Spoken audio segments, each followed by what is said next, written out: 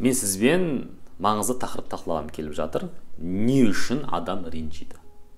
Жалпы реніш сезімін тудыратын өзі ма? Әлде ренжітуші адам ба? Әлде алла ма? Негізінде барлық сезімдерді алла өзі тудырады. Адам сезімдерді тудыра алмайды. Ол сезінеді. Адамның мақсаты сол сезімдер арқылы алла тағала оған не айтып жатыр қандай белгі беріп жатыр соны анықтау. Сезімдер үш мақсатта келеді. Бірінші ол ескерту. Маған алла тағала ескерту береді сезім арқылы. Екінші ол үйрету тәрбиелеу. Үшінші сүйіншілеу. Реніш сезімі қай уақытта келеді? Реніш сезімі мен біреуге шарт қойған кезде келеді. Мысалы менің інім сүндет мынандай болу керек деп шарт қоямын егер ол ол шартты орындамаса мен де ренжимін.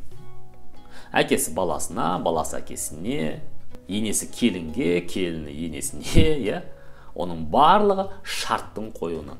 Шарт бар жерде орындалмаса реніш пайда болады. Дұрыс па? Реніштің пайда болу себебі адам өзі кейбір адамдарға шарт қойып тастауынан. Ал құл шарт қоя алады ма? Жоқ қоя алмайды. Яғни алла тағала бізге сол сезім арқылы не айтып жатыр шартыңды алып таста.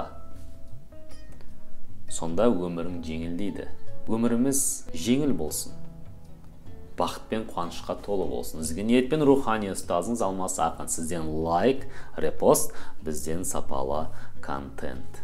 Кездескенше.